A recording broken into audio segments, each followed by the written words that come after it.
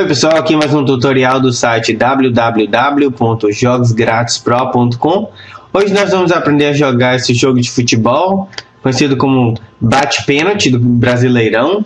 Então para começar aqui eu vou clicar, vou dar o um nome do jogador. Vou colocar Ronaldinho aqui. E vou clicar aqui em jogar para iniciar o jogo.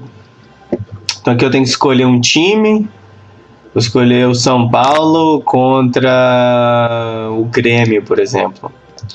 Então aqui agora são, são três coisas que você deve fazer. Primeiro é apontar a direção que você quer que a bola vai. Então aqui esquerda para cima e para direita. Então eu coloquei relativamente um pouco para direita. Aqui é a altura da bola, vou colocar baixa. E aqui é a força que você quer bater, vou bater no meio. Então eu consegui marcar um gol.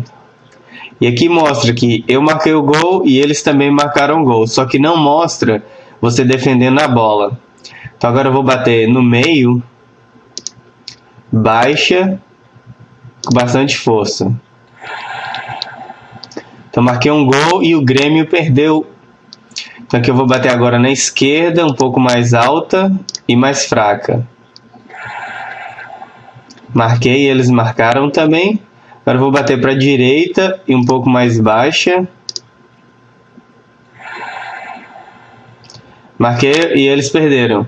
O jogo não foi bem desenvolvido porque agora eu já ganhei essa partida, porque o máximo que eles podem fazer é três gols. Três gols, mas de qualquer maneira eu vou bater o pênalti. Eu bati na trave e eles marcaram, mas de qualquer maneira eu ganhei. Então basicamente é isso, você vai jogando aqui então agora eu posso escolher outro time para jogar contra, então agora vai ser São Paulo versus Palmeiras, mas basicamente vai ser a mesma coisa.